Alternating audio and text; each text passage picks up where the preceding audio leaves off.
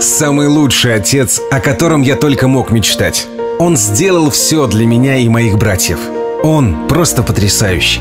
Оливье Тиль, полузащитник футбольного клуба «Уфа».